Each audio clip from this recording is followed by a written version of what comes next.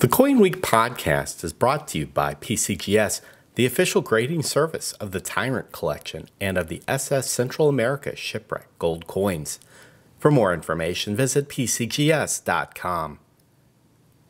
In this episode of the podcast, we talk to 50 year industry veteran and legendary coin dealer and auctioneer Ira Goldberg. Ira's handled almost every major rarity that you could think of but one of the crowning achievements of his career is the work he has put in over the past 15 years to assemble one of the most valuable and wide ranging coin collections ever assembled the Tyrant Collection. I got a chance to see some of the Tyrant coins at the Long Beach Expo, and I asked Ira to be our guest today to talk about it.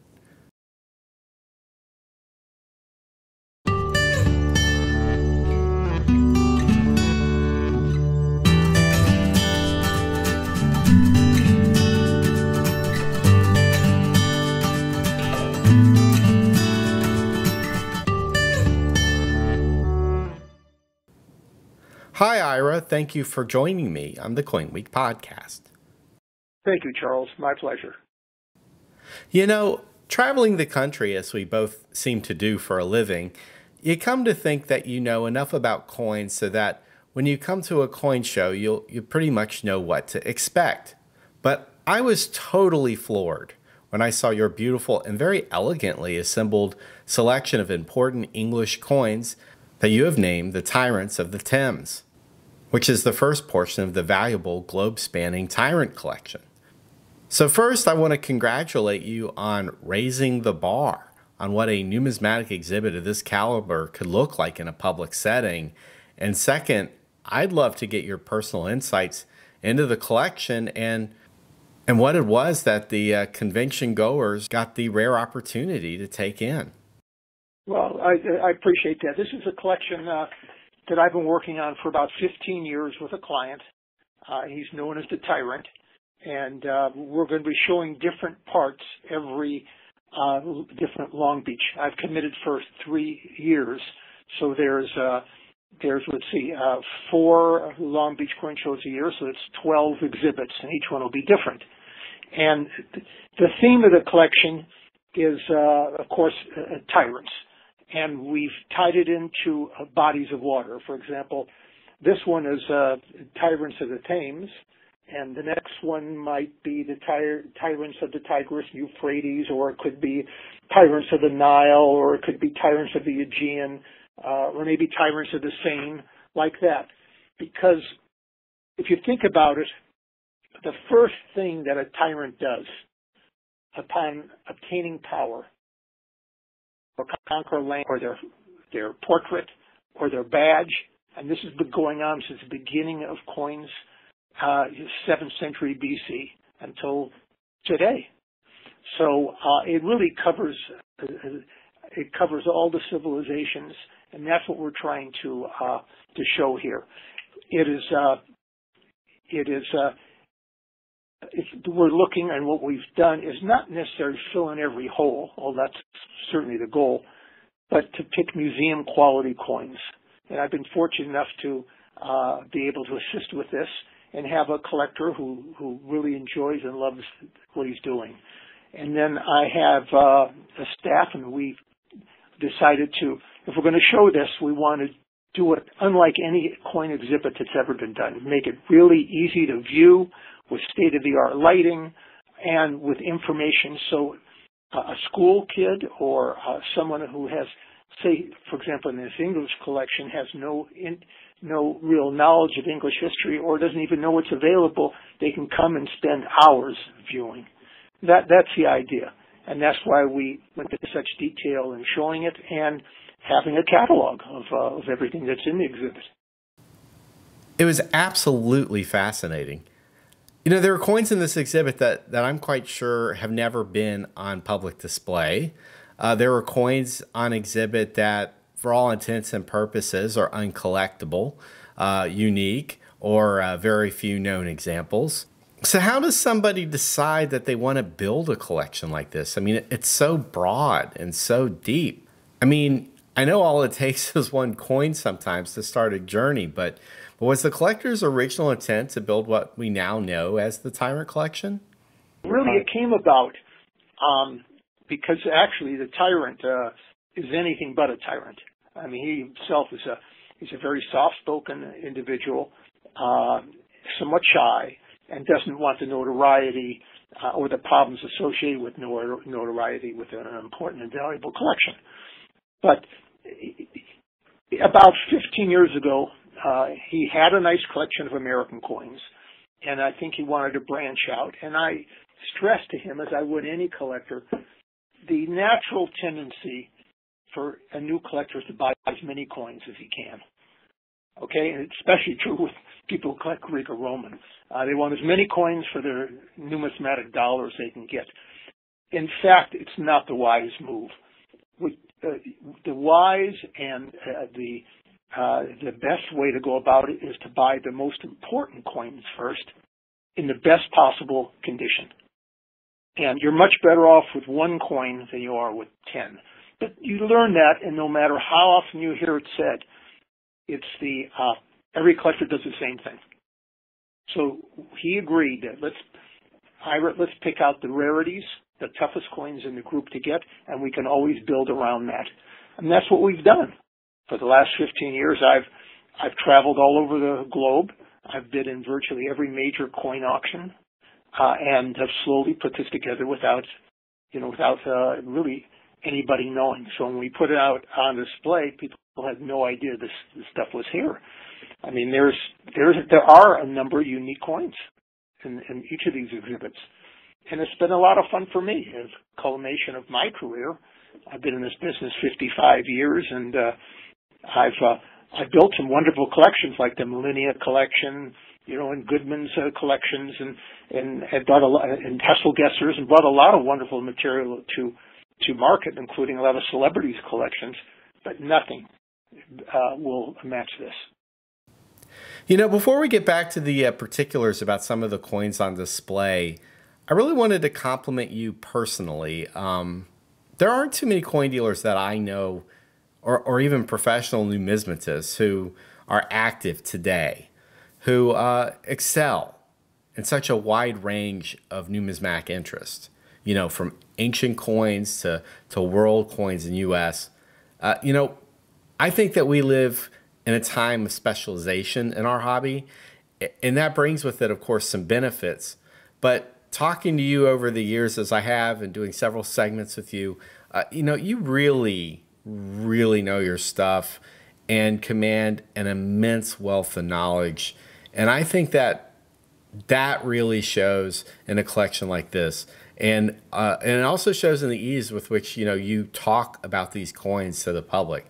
You know, at, at the Long Beach show when when this uh, exhibit was on display, I talked to a number of dealers who who were very impressed with what you had on display, but but who also knew virtually nothing about English coins.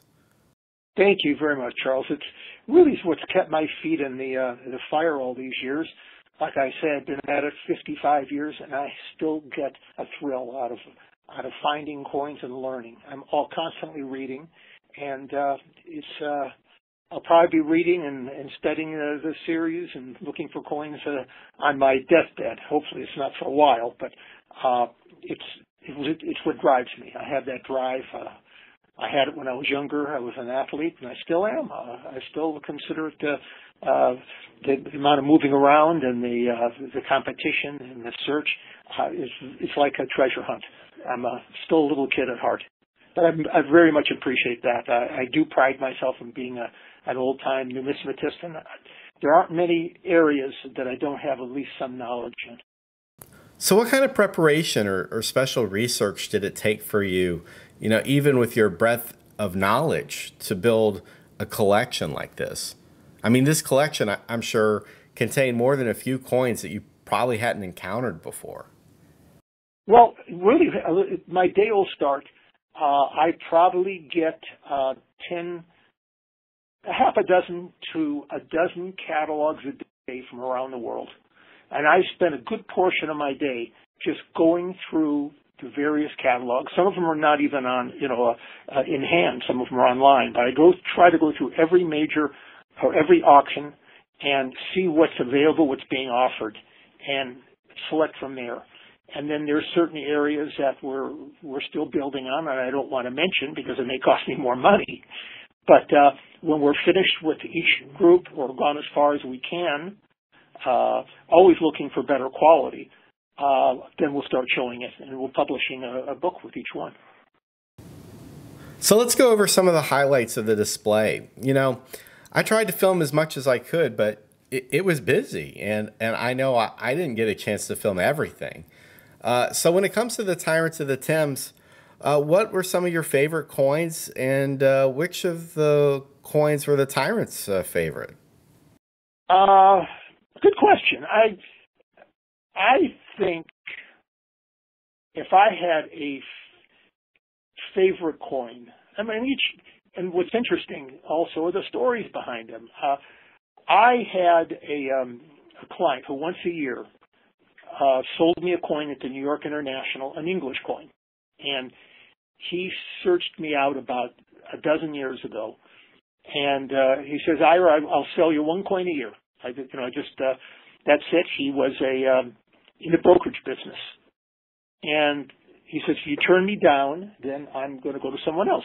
But you'll have first shot because uh, he he uh, we got along well and he had a good reputation. So he takes me into his bank vault and he says, "Here's the first coin," and it was a um, Elizabeth the First ship Ryal, a spur Ryal, and it has a spur on the reverse, and and uh, Queen Elizabeth the First is sitting in the ship. So it's about the size of uh, of um, a noble. I took one look at this coin, and I was sipping on a cup of coffee, and I spilled it all over myself. Her portrait literally jumps out of, off off the coin. You've, I've never seen a portrait of Queen Elizabeth anything like this. Uh, and it's a Spur which happens to be one of the great rarities in the English series. So this was the first coin I started with, and and uh, for the next ten years, I bought ten coins from each one with incredible, with uh, fabulous uh, pedigrees dating back several hundred years.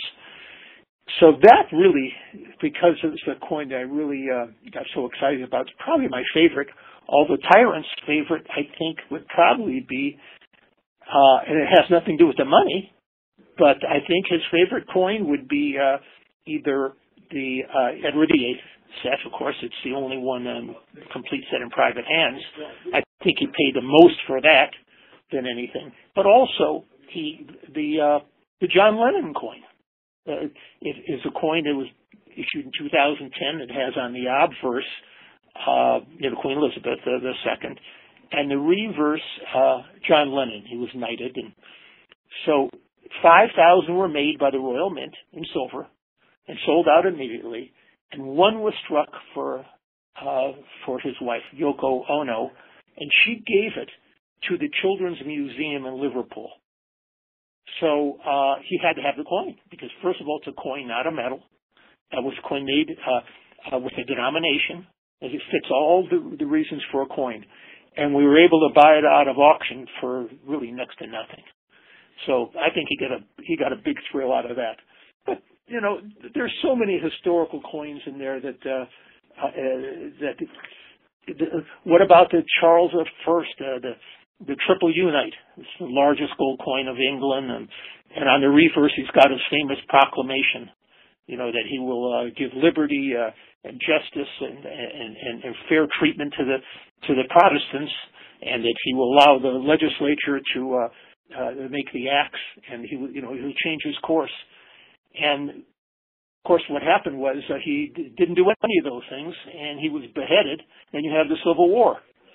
So uh, coins like that are just really amazing.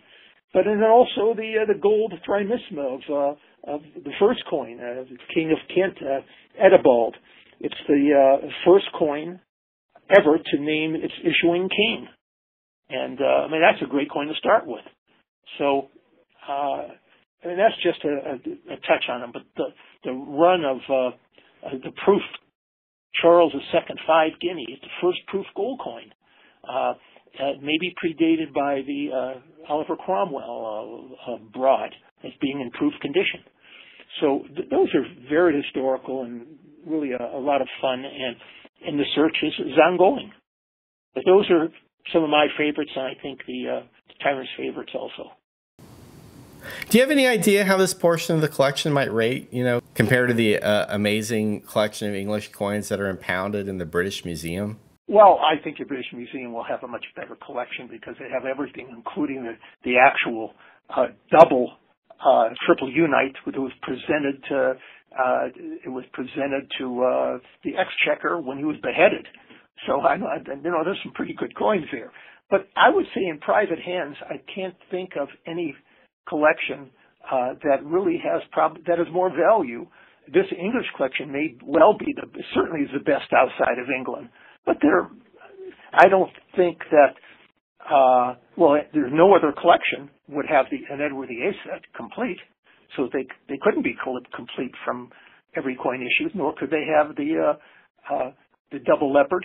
That's probably the single most expensive coin would be the double leopard, which is the coin of Edward III, struck for a short period in 1344, uh, really as uh, uh, the last the Plantagenets, really the earliest among the earliest English gold coins there is. Uh, England is growing. Uh, the Middle Ages, the time of uh, chivalry. You have King Arthur and the, the the Round Table. It's all the same period. The Knights of the Round Table and he issues this coin called a double leopard so that it will compete with the, with the Flemish coins and the French coins of the period, and to have an international coinage. Um, it was unaccepted, and uh, so what happened was, several years later, he issues the famous noble, heavier and a little slightly larger, and it became the standard coin of the realm for you know two three hundred years. But the double leopard uh, was because it's the only one in private hands, uh, I don't know how a better collection could be formed. That plus the the uh, Edward VIII set and, and the other great rarities. So uh, I would imagine. Well, he, he most recently he bought the uh, the silver uh, Simon petition coin to set the record price for the most amount of money ever paid for an English silver coin he bought the uh, the fifth known example of the famous Simon petition coin that was issued by Charles II, showing his petition on the edge, and that coin was uh, minted in uh, 1663. So uh, I don't see another I don't see another collection that would contain that plus the most amount of money ever paid for an English hammered coin, which is Charles I silver pound um, in incredible condition. So I would think that this collection that I had on display is worth somewhere between 15 and 20 million. That's my guess. There's a, lot of important coins in this collection. And the fun for me is to search. So, are you going to be able to tease us uh, as to what section of the collection will be on display at the Long Beach show in June, or or maybe even uh, spoil a surprise or two and uh, tell us about some of the very important and unexpected pieces that are going to turn up in the Tyrant collection? Well, I don't know what I'm going to do. I have a meeting this coming Friday with the Tyrant, and we're going to talk about. I'm kind of thinking that maybe the next one we should do is Tyrants of the Seine, because uh, I mean you'll start with uh, uh, Merovingian, the ancient French, the uh, will go into the Carolingian, and they go go into the feudal French period, and through the uh, Napoleonic period, and then ending uh, with you know modern France, independent France. I don't know because maybe we'll mix in. Uh, we'll use the early Merovingian, Carolingian, and stop at uh, Napoleonic, and then show the show the uh, the American coins that circulated during that time. We could do that also with the exhibit. So we haven't really settled on what what the next one will be, uh, Charles. I just don't know. Well, I, I'll tell you that personally, I look forward to seeing the next part of the Tyrant collection. Uh, you know what you and your team have put together is so well done and so interesting, and I thank you and the Tyrant Collector for sharing it with us. My pleasure. Thank you. Well, I hope to be talking to you soon. All right. Thanks, Ira. Bye, Charles.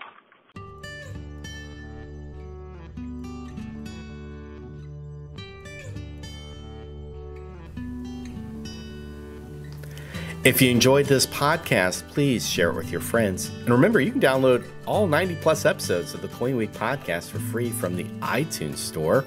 For CoinWeek, I'm editor Charles Morgan. Until next time, happy collecting.